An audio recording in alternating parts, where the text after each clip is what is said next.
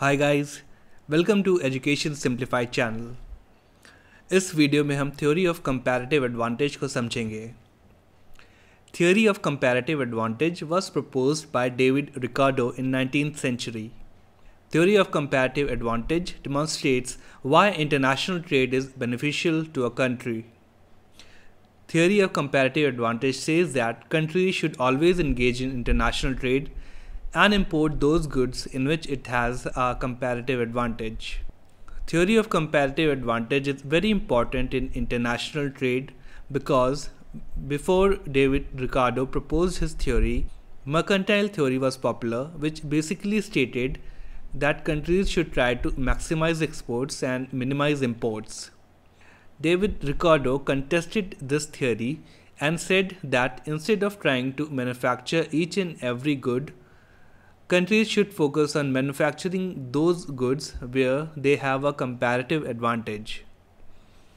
Now let's understand what is a comparative advantage.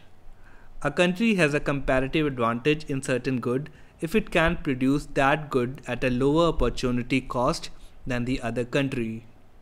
Now what is an opportunity cost? Assume a country can make two goods, rice and wheat, If it chooses to increase the production of rice, it will have to decrease the quantity of wheat it can produce and vice versa. So opportunity cost of rice in this example is the unit of wheat we have to sacrifice in order to produce rice. So opportunity cost is the unit of one good we have to sacrifice in order to produce another good.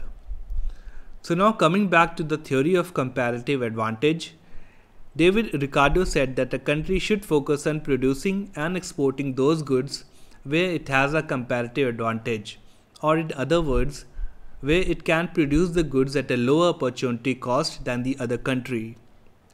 Let's understand this with the help of an example. Suppose there are only two countries in the world, Portugal and England, and they produce only two goods, wine and cloth. Portugal takes 80 hours to produce 1 unit of wine and 90 hours to produce 1 unit of cloth. Similarly, England takes 120 hours to produce 1 unit of wine and 100 hours to produce 1 unit of cloth.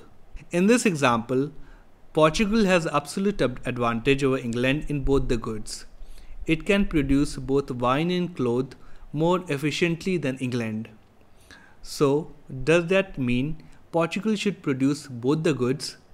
Well, it should not if we follow the theory of comparative advantage.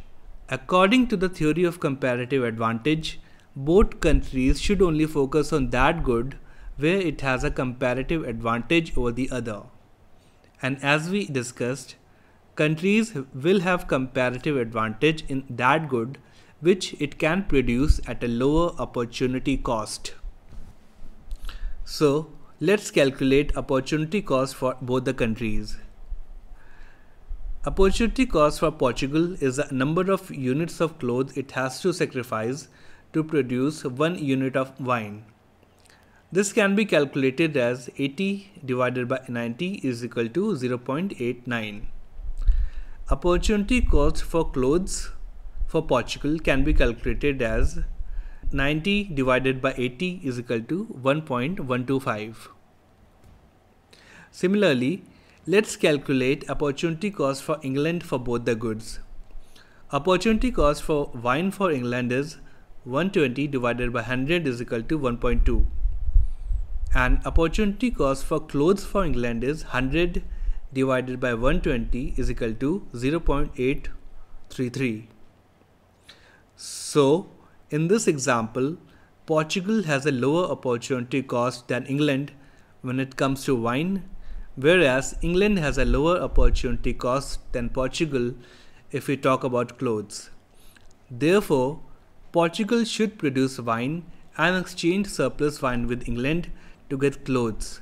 Similarly, England should use its resources to produce clothes and exchange excess clothes with Portugal to get wine.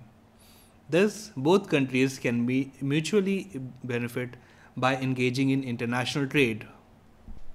So to recap, Theory of comparative advantage says that countries should engage in international trade and should focus on producing that good which they can produce at a lower opportunity cost than the other country. So friends, this was our brief discussion on theory of comparative advantage. I hope I was able to explain this concept in an easy to understand manner. If you have any comment or any suggestions, don't forget to leave them in the comment box below. And as usual, don't forget to like this video. And if you haven't subscribed to our channel yet, please do subscribe. Until we meet again, have a good day.